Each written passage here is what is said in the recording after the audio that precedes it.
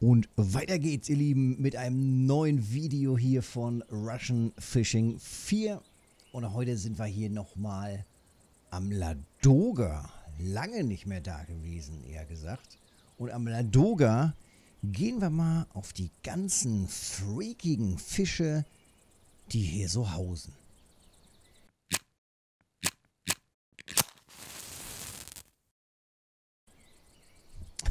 Also, legen wir los schnappen wir uns erstmal ein paar Bootstickets und zack, zack, zack, zack und düsen los. Ei, ei, ei, ei. Hoffentlich werden wir hier nicht vollgeschissen von den ganzen Möwen. Hocken uns ins Boot und brettern erstmal raus auf den See. Wenn wir uns den Ladoga mal kurz anschauen. Ja. Viel, viel Fläche und wenig Fläche, wo wir mit, ähm, mit den Grundrouten angeln können. Und deswegen brettern wir jetzt hier vorne an die Spitze dieser Insel und da sehen wir uns dann gleich wieder. So, und da sind wir auch schon. Ich fahre mal hier so knapp dahinter. So. Das geht hier ganz gut. Und dann stellen wir uns direkt hier oben drauf auf die Spitze, blicken in Richtung 18 Meter Loch. Genau da wollen wir hin. Grob da wollen wir hin. Und wenn wir von hier aus messen bis hierhin, tja, dann sind das wieder so rund 60 Meter. Und diese Strecke müssen wir im Idealfall überwinden, um in das tiefe Loch reinzukommen oder sogar noch weiter. Mm, das bedeutet, ja, sowas wie, wie Winkelpicker oder sowas, damit hat man wahrscheinlich zu wenig Wurfgewicht. Ähm, ich komme mit meinem Winkelpicker damit leider nicht bis dorthin. Das heißt, ich muss mir was Passendes zusammenbauen. Und ähm, in dem Fall, da wir ja hier jetzt auch nicht auf riesig große Fische gehen, schnappe ich mir mal eine dünne Braid. Und ja, Inline-Montage lassen wir so wie es ist. Dann haue ich hier mal ein dickes, fettes Blei drauf, 112 Gramm. Dann ein dünnes Vorfach. Ein dünnes Vorfach. Sagen wir mal sowas wie 9,7 reicht. Vielleicht teste ich auch gleich nochmal ein kleineres. Und dann spiele ich ein wenig mit den Haken. Ich sag mal 6er Haken, 4er Haken. Das ist gar nicht so verkehrt. Und ganz wichtig hier, ähm, Eintagsfliegenlarve. Vielleicht teste ich gleich auch nochmal Köcherfliegenlarve und Steinfliegenlarve. Aber wichtigster Köder, die Eintagsfliegenlarve. Und den Prügel werfen wir dann, na, vielleicht sogar so ein bisschen zu dieser Kante hier.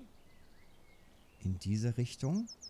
Weil dann landen wir noch eher hier in diesem Bereich. Also ruhig ein bisschen schräg. Und dann raus damit, volles Met. Und ihr seht, das geht ganz schön weit raus. Das ist auch gut so. Ganz wichtig, auch noch erstmal ein bisschen absinken lassen. Offen lassen den Bügel. Das Blei muss jetzt ja erstmal 18 Meter in die Tiefe sinken. Ja, und in der Zwischenzeit bauen wir uns dann das nächste Gerät zusammen. Beziehungsweise, wir schauen mal eben, ich glaube, ich baue mir noch mal kurz ein etwas kleineres Vorfach.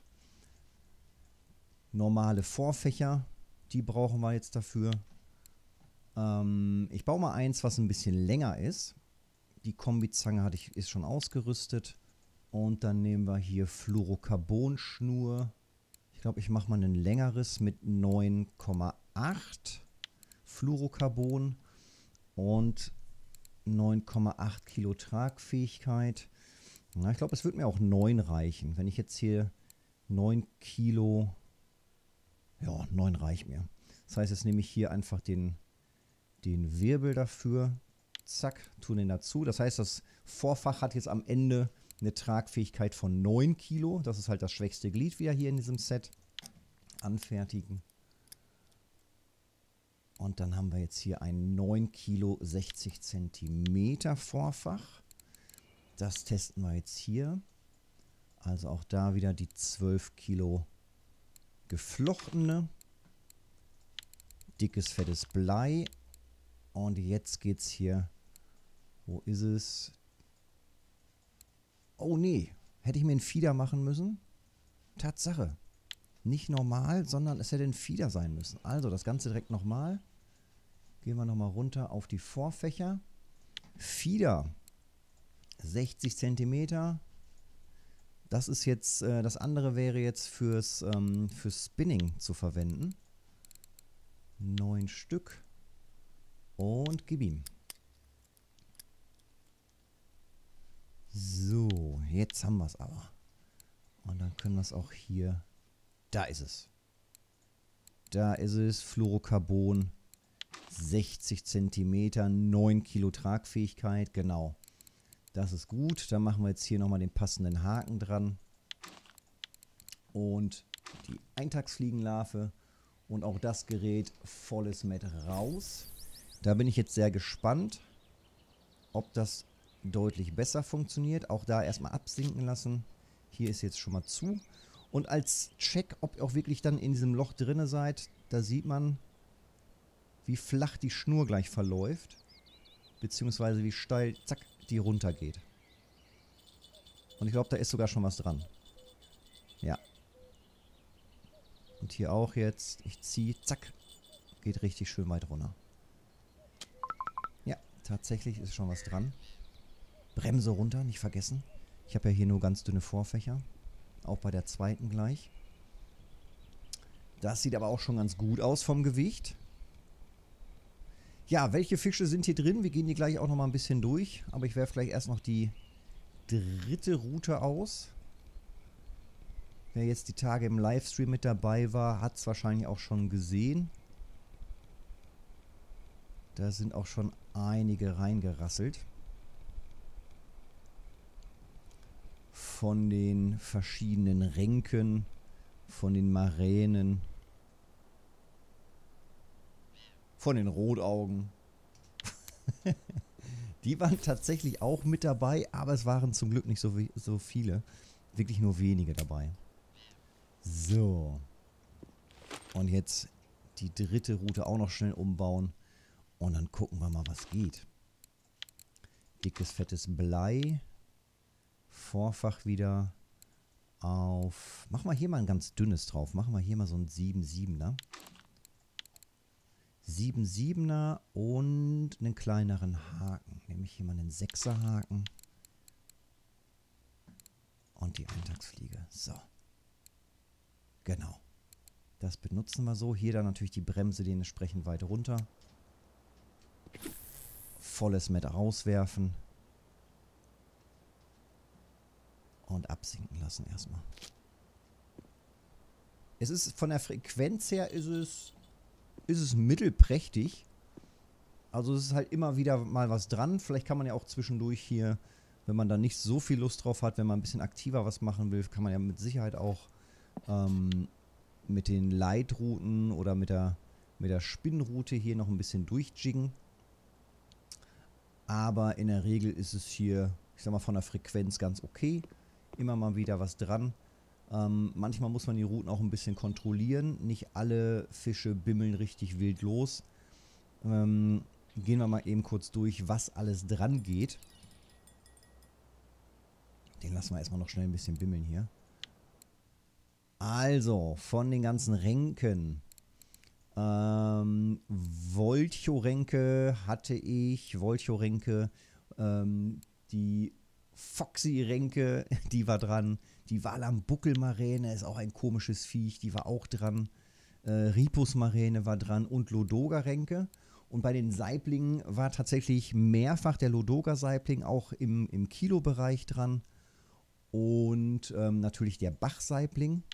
Wobei Bach-Saibling relativ klein dran war. Aber ihr seht, auch hier in den Rekorden bis zu 9,8 Kilo wurde er schon gefangen. Ludoga ist tatsächlich nicht in den Rekorden. Und auch hier mal auf die Köder achten. Hier haben wir es, ähm, mm, mm, die Steinfliegenlarve. Ja gut, Köcher wollen wir jetzt hier nicht. Aber immer wieder mit drin. Also die Köder auf jeden Fall regelmäßig ausprobieren, testen.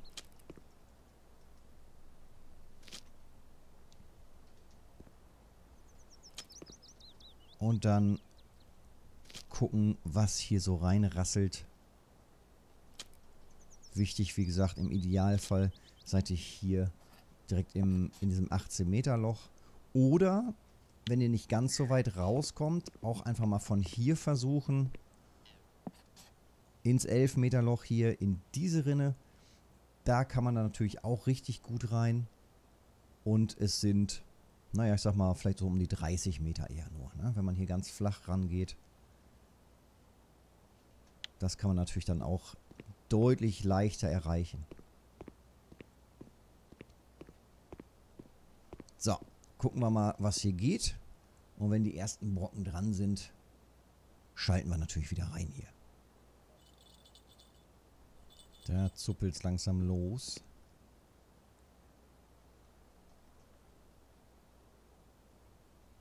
Und ich glaube hier auf der zweiten auch schon.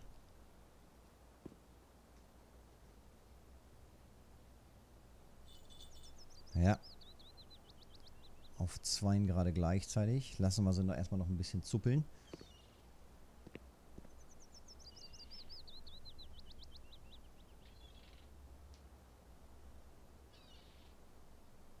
Ja, ich glaube hier in der Mitte ist schon aktiver. Die, da bewegt sich die Schnur auch schon so ein bisschen.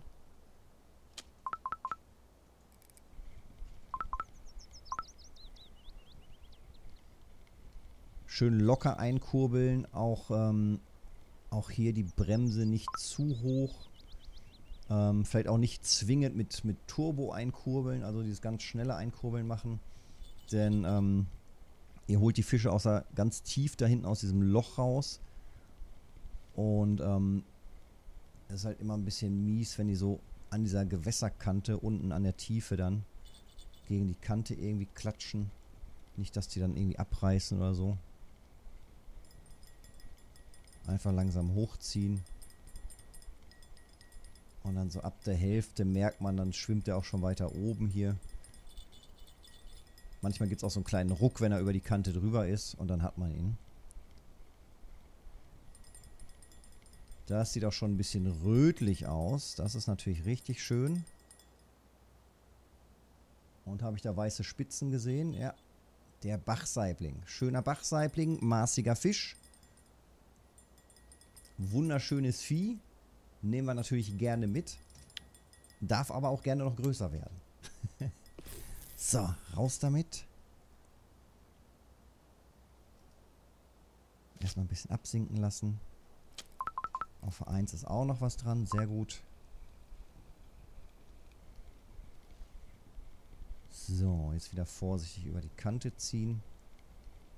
Zapp, ich glaube, jetzt ist er schon rüber. Gibt so kleine Ruckler dann immer.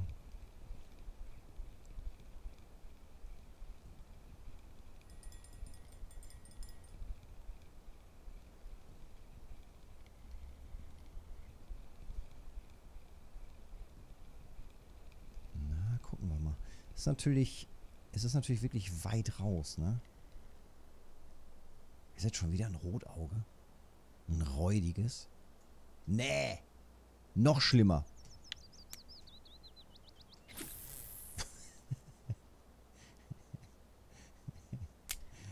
Schäbig.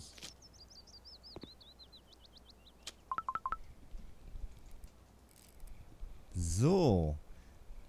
Jetzt sind wir hier auf dem 7.7er Vorfach. Das hier ist das, das leichtere, das feinere Setup. Gucken wir mal, was hier geht.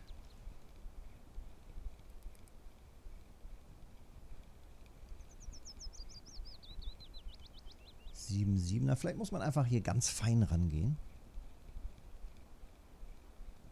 Das ist auch schon wieder so hell, ne? Oder? Was haben wir hier?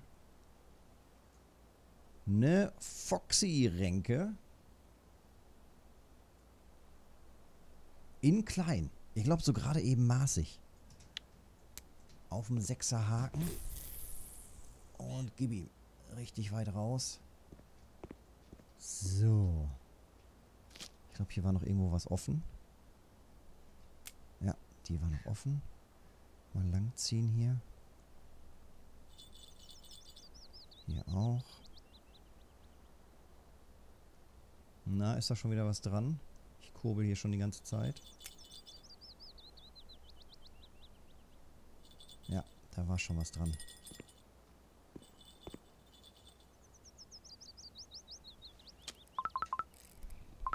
Schon gehakt wieder. Sehr gut. Ja, und wie gesagt, so vom, von der Frequenz her, vom Tempo her, so, so schön, einer nach dem anderen, so geht das hier. Ähm, es ist halt nicht jeder Fisch sensationell. Es ist übrigens auch von der Kohle her nicht unnormal belohnt. Nee, das ist einfach nur hier die Möglichkeit ähm, oder die Chance auf diese, ist es eine Quappe? Auf diese doch recht seltenen Fische. Und es gibt halt immer wieder, immer wieder Leute, die sagen, oh ja, Ladogasee, Alter, keine Ahnung, was macht man da? Ladogasee? War ich noch nie. Und ähm, ja, wenn euch diese Fische fehlen, einfach mal hier hinhocken, durchziehen und, oh, sehr schön. Und ausprobieren. Ja, so sollen sie sein. Die sollen in die Bremsen gehen. Richtig gut, ey.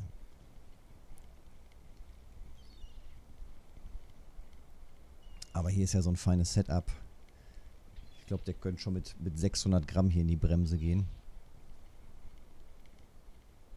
Und da kommt er wieder an. Sehr gut.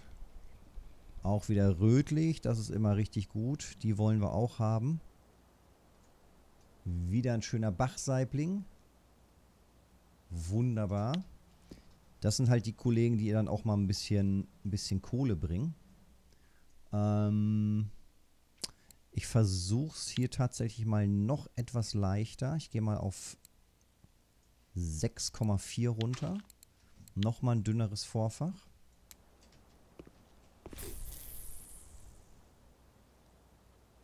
Schön raus damit. Ich meine, wir haben hier 450 Meter Schnur drauf. Da können wir zur Not auch lang drillen. Bisschen absinken lassen. Und vielleicht teste ich einfach mal auch auf den anderen Routen gleich die, ähm, die anderen Köder, Köcherfliegen und Steinfliegenlarve. Aber erst mit den nächsten Fischen. Und da zuppelt es auch schon wieder los. Tja, hat gar nicht so lange gedauert. Da geht es auch direkt wieder los.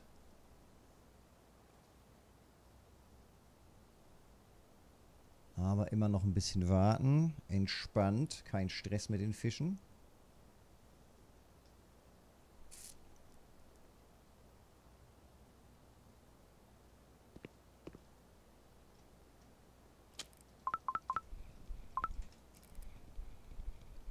Gut.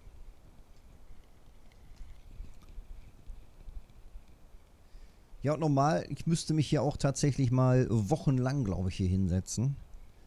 Einfach um die mir noch fehlenden Trophäen hier zu, oder die Chance einfach darauf zu haben, die zu kriegen. Weil ich finde, es ist halt die, die einzige Möglichkeit hier, ähm, einfach mit den Grundrouten auch zu angeln.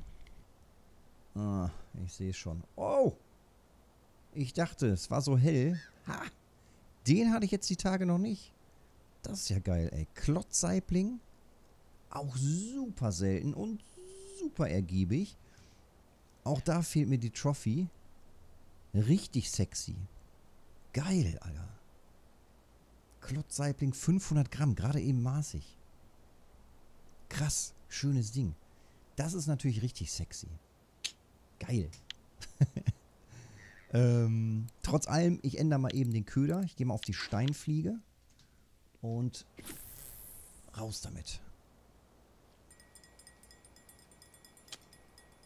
Ach du Scheiße, da ist sogar schon direkt was dran. Ja, Mann. Ja.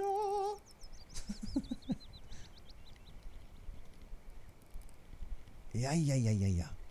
Hoffentlich kein Rotauge. Nicht schon wieder. Oh, oh, oh. Die Gewässerkante jetzt. Ich kurbel ganz vorsichtig gerade. Alter. Der hat richtig Bock. eskaliert hier so ein bisschen rum der Fisch. Geht auch so ein bisschen noch in die Bremse, aber ich stelle noch nicht hoch. Wenn er richtig abziehen will, dann lasse ich ihn ziehen.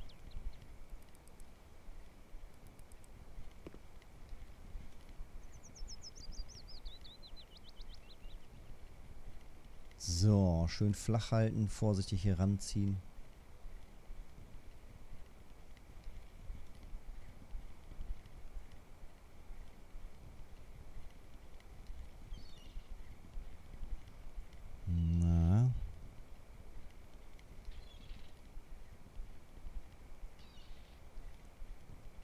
Er schwimmt nach links, er schwimmt nach rechts. Da wehrt er sich schon. Kann natürlich noch eine Seeforelle sein. Nee, ist auch wieder eine Renke, eine Maräne oder weiß der Geier, was das wieder ist.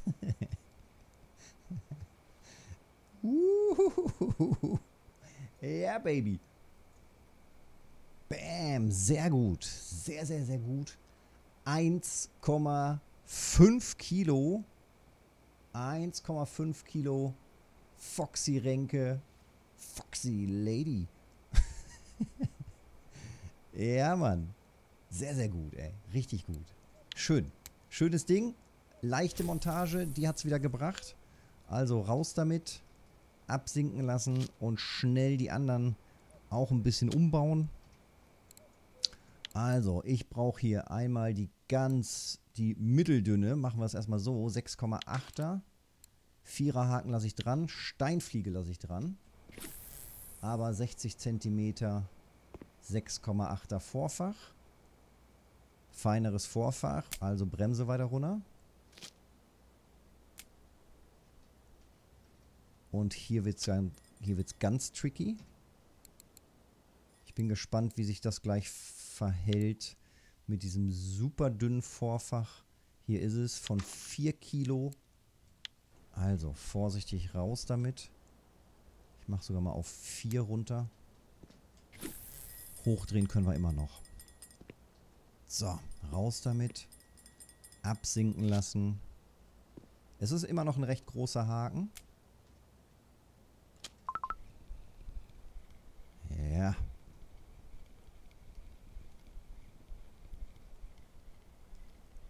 Aber wir wollen ja auch die dicken Brocken. Von daher, von daher passt das schon. Übrigens natürlich hier rein optisch. Mh, mm, richtig geil.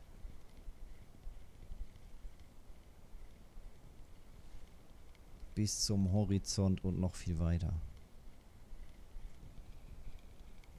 Eppa, was haben wir denn da? Nee. Ne Esche. Ach, was? Das ist ja nett.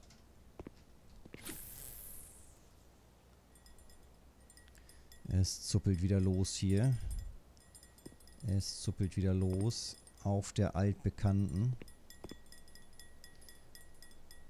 Mir fällt gerade ein, ich werde, glaube ich, alle Routen mal mehr in Richtung Mauer werfen. Mehr an die Wand. Gucken wir mal, ob das was bringt. Die 2 geht auch gerade los. Da ist die Steinfliege drauf.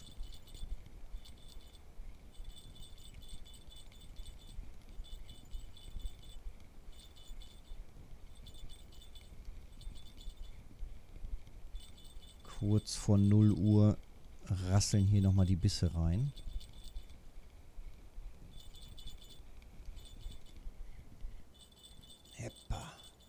Ludogarenke. Auch ein schöner Fisch. Sehr gut. Aber gerne auch in den Kilobereich darf der gehen. Tipptopp. Also ein bisschen mehr in Richtung Mauer.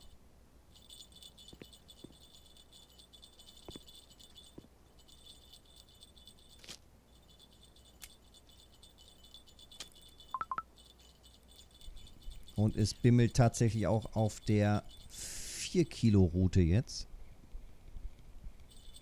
Oha. Oha, oha.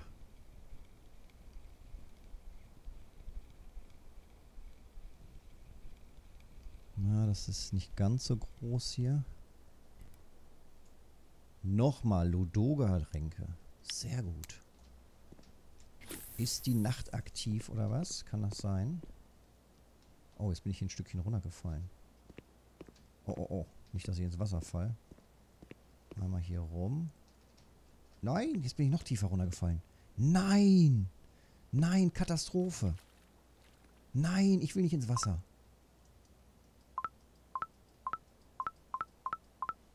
Fuck, was kann ich machen? Nein, richtige Katastrophe. Ich versuche mich wieder hochzubacken. Nein, wie schlimm. Einkurbeln. Ich hoffe, ich kann entweder das Boot greifen. Oh mein Gott, Katastrophe. Erstmal die Route außer Hand legen. Entweder kann ich das Boot greifen oder mit einer anderen Route Nein!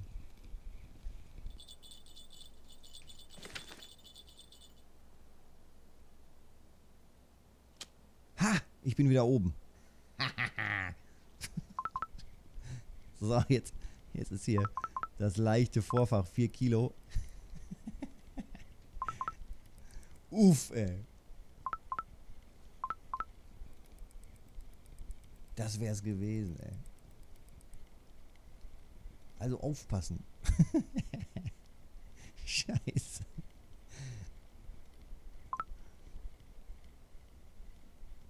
Ein Schritt zu weit und schon plunsch liegt man hier im Wasser.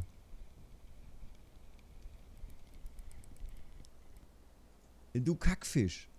Mann. Dafür das ganze Geraffel.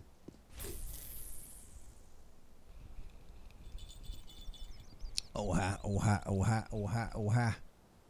Was geht denn da ab? Gerade vor Spaß nochmal geradeaus hier zwischen die beiden Inseln geworfen. Dann landet man ja so ungefähr im Elfmeterloch. Ja, oder sogar noch ein bisschen weiter. Dann habe ich auch nochmal die Bleie erhöht. Auch nochmal ein bisschen mehr Gewicht dran gepackt. 140er. Das heißt, ich komme also noch mal viel weiter raus. Übrigens, fragt mich bitte nicht nach dem Clip. Kein blassen Schimmer. 60 plus. Ähm und jetzt gucken wir mal. Das war jetzt ratzfatz hier auf der Steinfliegenlarve. Was wir denn noch hier dran haben. Dementsprechend lang muss man natürlich auch kurbeln, ne? Da gehen schon ein paar Meter raus, ey. Ja, ich glaube, ich bin ganz zufrieden hier. 450er äh, Schnur, 450 Meter drauf. Da haben wir doch noch mal so einen Kandidaten hier. Epa, komm ran hier. Ludoga-Renke nochmal mit einem Kilo. Schönes Gerät. Da werfen wir jetzt gleich nochmal schön hin in die Richtung. Zack. Und er geht weit. Schön. Plonsch Einfach hier in diese Richtung. Ich glaube, man kann sogar noch weiter rüber. Ja. In Richtung der zweiten Insel. So, die anderen werfe ich auch nochmal in die Richtung aus. Ähm, und dann probieren wir da nochmal ein bisschen weiter. So, dann schauen wir doch jetzt mal nach langem Angeln, was wir denn hier jetzt alles so dran haben. Sortieren wir das Ganze mal und sehen schon, allein so nach den Preisen sortiert, ähm, so eine kleine Foxy-Ränke bringt zwar 17 Silber, was gar nicht so schlecht ist, mit 1,5 Kilo, ähm, aber so diese Ludoga-Ränken, 6, 7, 8 Silber, 9 Silber, also wahnsinnig viel ist es nicht. Ganz interessant war natürlich jetzt auch der Klotzsaibling hier. Das ist schon sehr, sehr selten. Bachsaiblinge waren gar nicht so viele dran. Da hatte ich jetzt die Tage im Stream deutlich mehr und auch ähm, mehrere Ludoga-Saiblinge. Die gingen da richtig gut, aber ich werde es noch weiter probieren. Dafür mal wieder ein Trophy-Rotauge, ein dickes, fettes. Europäische Esche ist auch äußerst selten. Ähm, ja, und so ein bisschen was an, an Kleinkram. Ähm, Ludoga-Ränke, Foxy-Ränke, Und ja, Walam Buckelmarine hatte ich dann leider nur im Ingame-Chat gesehen. Funktionierte anscheinend auch, auch im Elver. Leider nicht bei mir.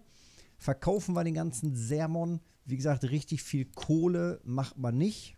Schaut natürlich vorher nochmal im Café.